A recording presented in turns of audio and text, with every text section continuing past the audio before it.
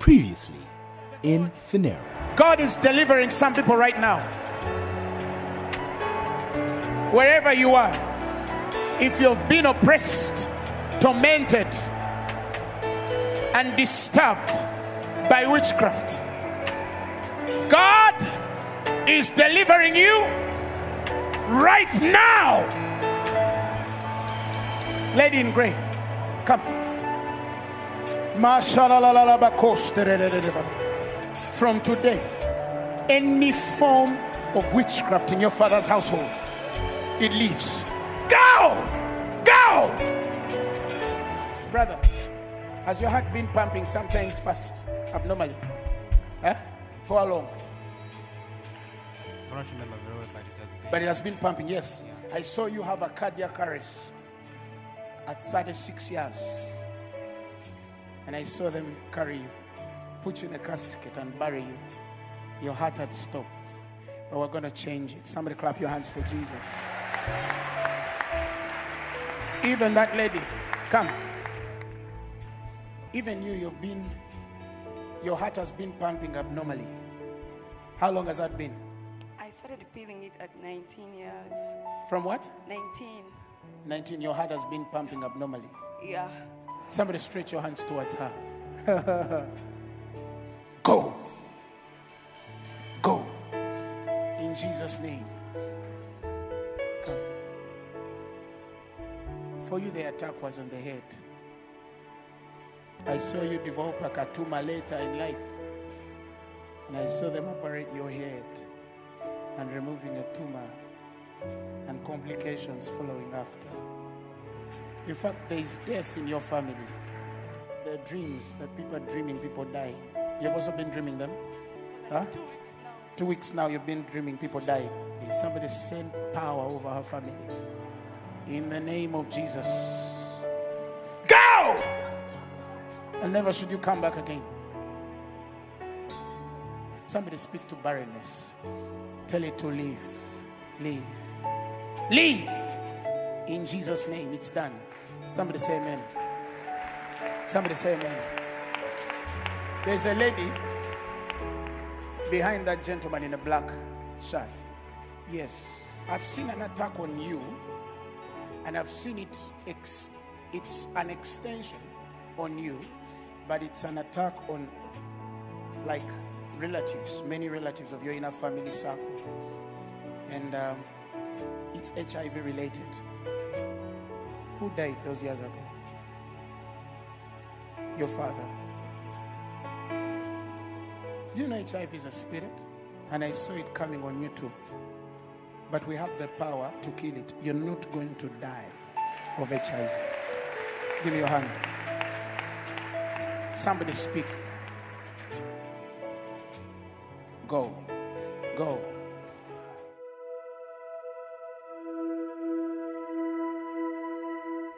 Wisdom of God is many sided. In us, the prism of influence of the wisdom of God has many lenses through which men can see. That is why when the Holy Spirit is speaking about the relationship that we carry with Him as He teaches us, the Bible tells us that in, in, in the Amplified Version in Corinthians 2, He says, He searches out the bottomless things of God. God is bottomless. And the more you see in the wisdom of God, the more you influence the spirit world the more you make a mark in the principalities and powers and heavenly places, wherever you are. Now, when the Bible says that you are epistles written in our hearts, known and read by all men, do you know that all men read you? There's a man who can come with a multi million dollar deal and trust you because he reads you, that you're trustable. Opportunities in this world are based on trust. God has given you and I the opportunity to brand your spirit. You can brand your spirit. You can make it appear the way you want it to appear, such that men read it the way you want it to be read. If they are looking for the best engineer, you can brand your spirit to be the best. All you need is a spiritual experience, and you'll stand before kings and not before mean men. The Bible says, Gentiles shall come to your light, and kings shall come to your rising. There are places skin color can't take you. There are places education status can't take you. There are places connections and networks can't take you. Not by power, not by might, but by my spirit. The order of the spirit is you cannot resist the devil to flee if you have not understood the total sum of what it means to submit yourself unto God. The power that a man receives because he has learned to yield to the Holy Ghost is the very power by which that man resists the devil. When the Bible says, do not give place to the devil, it means don't give him opportunity. If the Bible says don't give the devil opportunity, it already means he has no opportunity over you. If the Bible tells you don't give power to the devil, it only means he doesn't have power over you. He's not supposed to have a place in you. You remember when Jesus was speaking in John 14 30? He says, For I shall not speak much with you, for the prince of this world cometh and has nothing in me. When you look at Jesus, the prince of this world has nothing in him. He has nothing in you. He's not supposed to have an opportunity in you. He's not supposed to have power in you. He's not supposed to have an accordance to act in you. Your spirit, it's in the image. You were made in the image and likeness of God. And you carry the subscription of God. Give unto Caesar what belongs to Caesar, and give unto God what belongs to God. Submit yourselves to God. The Bible is very clear. Nothing from without entering a man defileth him. He says, There is not even one thing outside a man which by going into him can pollute and defile him.